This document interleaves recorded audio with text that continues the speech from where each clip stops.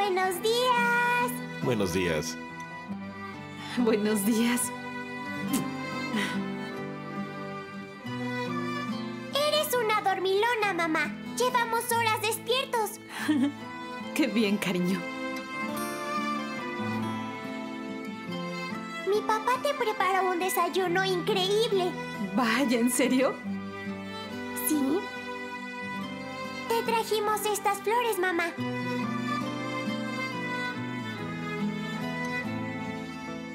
Tienen un aroma maravilloso. Muchas gracias. A la mesa. Tu omelette se enfría. ¿Hiciste omelette? ¿Por qué te sorprendes? ¿Sí? Exquisito.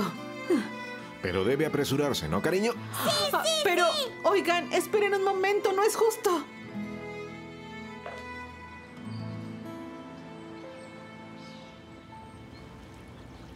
¿Cómo está Sinem?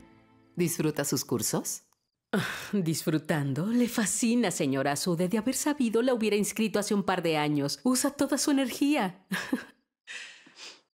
Mi dulce niña. ¿Y cómo estuvo su día? Honestamente, hace mucho tiempo que no me siento tan sola, hija.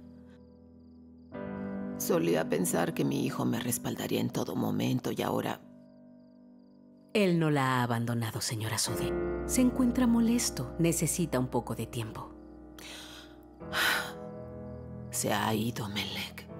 Decidió cambiar a su madre por esa cualquiera que ni siquiera conoce. La prefirió a ella que a su propia madre. Señora Azude, no está sola. Me tiene a mí y no pienso abandonarla. Eres la única persona que se preocupa por mí, Melek.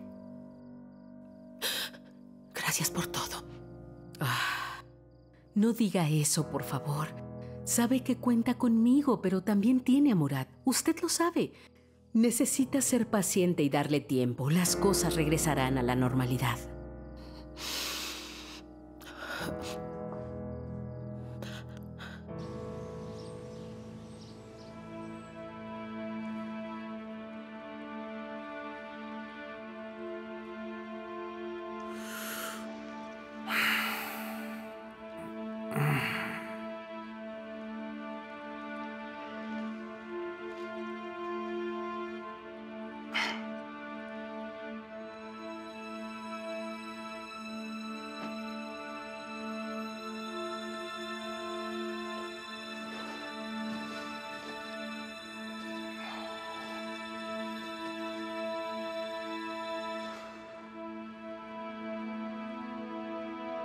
El número que usted marcó no está disponible. Vuelva a marcar en otro momento, por favor.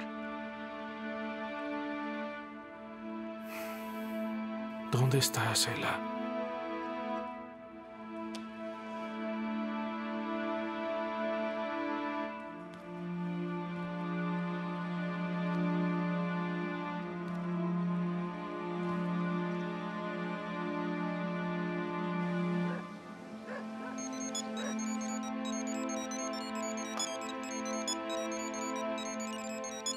Vaya, qué extraño. Dígame. Ah, señora Zumbul, disculpe la molestia. Habla Furcán, el amigo de Ela. Mi tía me dio su número. Ah, hola, señor Furcán. No hay nada de qué disculparse. ¿Qué pasa? ¿En qué le puedo ayudar? Bueno, resulta que no puedo localizar a Ela. ¿Está en casa? No. Apagó su móvil. No he hablado con ella desde ayer, no responde. Fue a una entrevista de trabajo. ¿Cómo? ¿Acaso no tiene empleo? Está trabajando, sí, pero busca un empleo en el área que estudió en la universidad. A eso me refería. Entiendo bien. ¿No ha hablado con ella? Pensé que había ido con una amiga, por eso no llamé. Pero su llamada me tiene preocupada. ¿A usted no le dijo que tenía una entrevista de trabajo? No, no me dijo nada. Entonces, señora, ¿me llama si logra comunicarse con ella? Sí, por supuesto. Es más, le diré que usted le llamó. Gracias, que tenga buen día. Eh, gracias, señor Furcán, igualmente.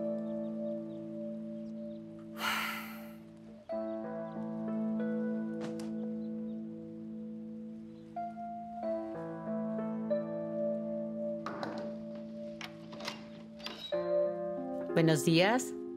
Hola, tía. Dime, hijo, ¿hay alguna novedad? Apagó su móvil. Parece que nunca llegó a su casa. Tal vez se quedó en casa de una amiga. Ojalá así sea. Eso espero, tía.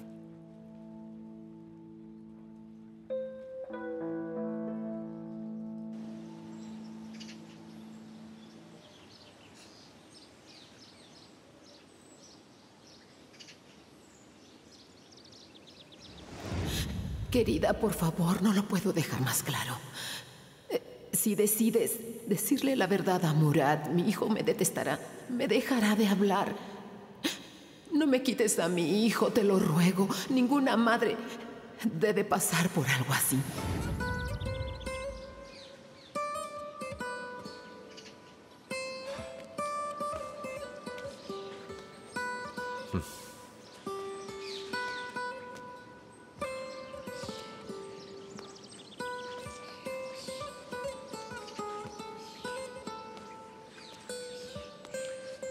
¿Estás bien?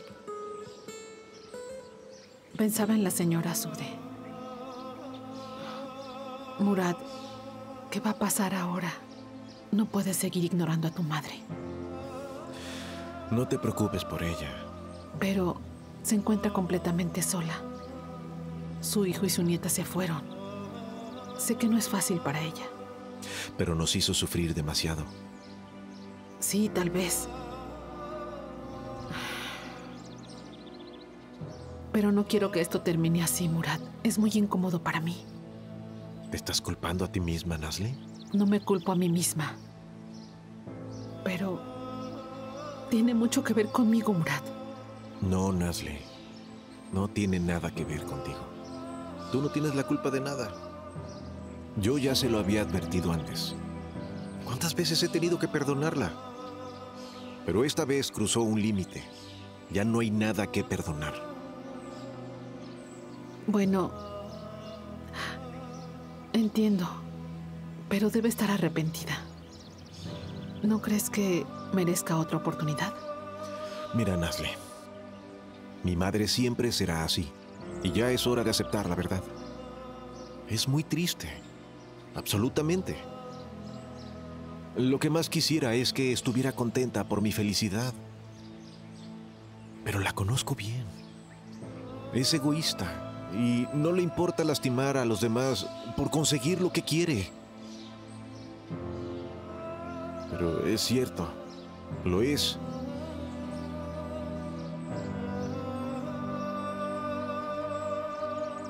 Ella es de esa forma y tal vez pueda cambiar. Solo así la podré perdonar. Si es que es sincera.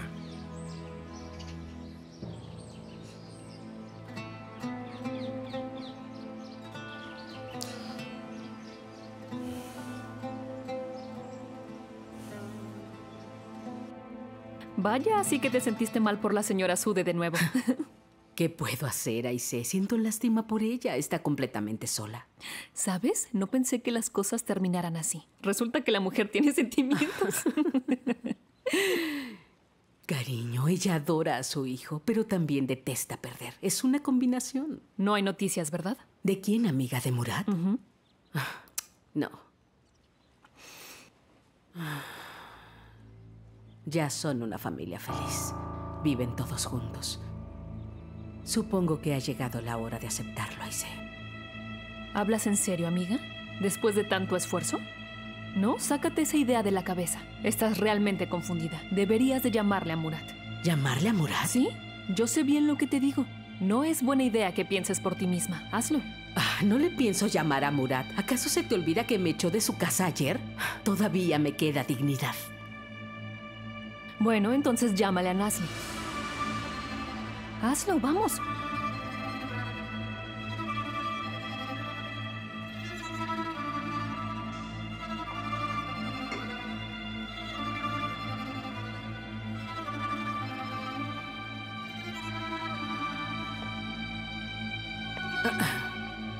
De acuerdo.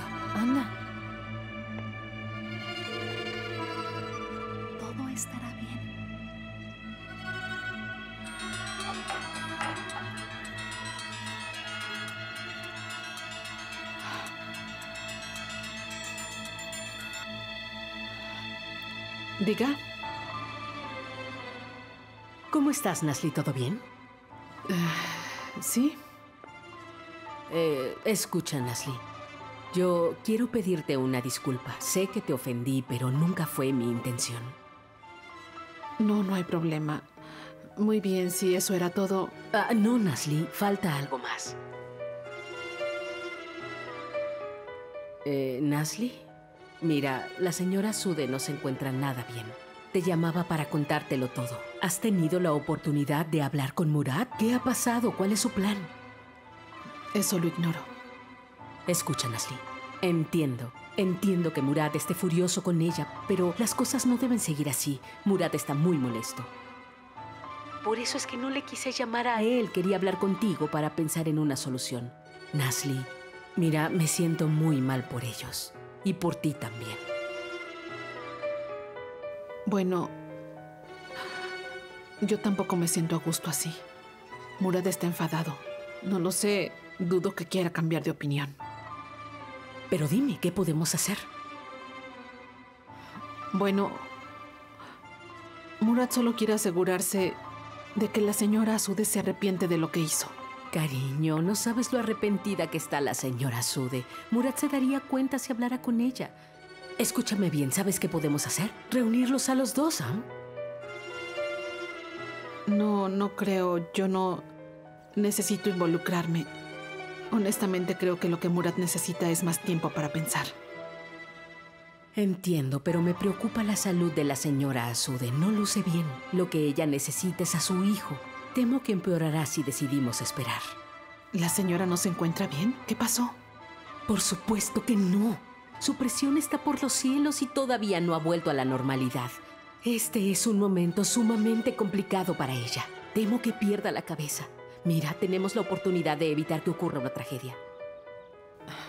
Está bien. Hagamos lo que tú digas.